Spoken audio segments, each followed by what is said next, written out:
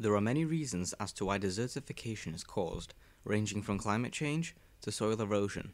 Climate change causes the temperature to increase, and most forms of vegetation find it hard to adapt quickly enough, resulting in the majority of vegetation dying and causing the soil to deteriorate. Furthermore, the increases in temperature cause lower levels of water due to the higher rates of evaporation, which leaves plants with less water, and subsequently they similarly die, leaving desertification to worsen as the soil is baked by the sun. Population growth is significant, as a high population needs more resources like water, food, and energy, which puts strain on the environment, as water is derived from there for food and some energy production.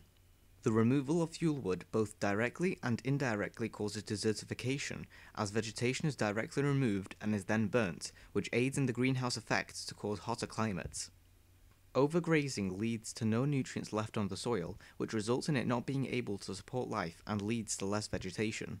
Furthermore, overgrazing often leads to animals like maned cattle to be largely herded and cause the mass release of methane, which is many times more potent as a greenhouse gas.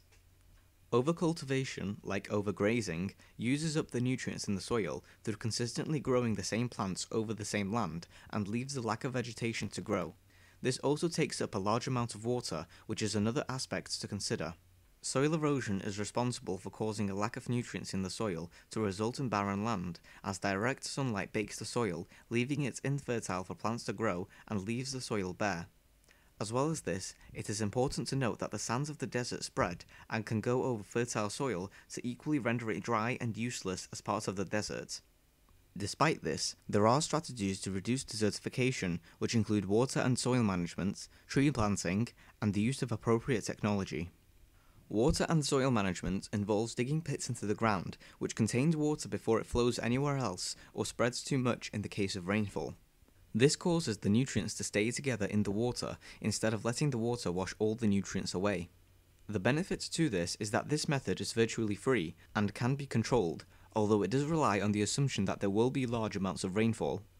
Tree planting is another successful strategy which involves planting trees which take up water before it spreads out too much with the nutrients it has picked up. The held back nutrients are taken up by plants to be used up instead of being washed away, and this method is also practically free and can even yield produce to be sold depending on the tree. The main drawbacks are, however, that it takes time to fully grow the tree for it to be effective, and that in some cases the tree saplings have to be donated by outside bodies. Lastly, the use of appropriate technology is one of the most innovative strategies. A good and famous example involves using stone lines to make sure that water is held back with each line, causing the nutrients that the water is carrying to be held back as well. There are no major drawbacks to this due to the simplicity and the advantages, including how the community is involved, since there is no expertise involved, and how the method is free to do.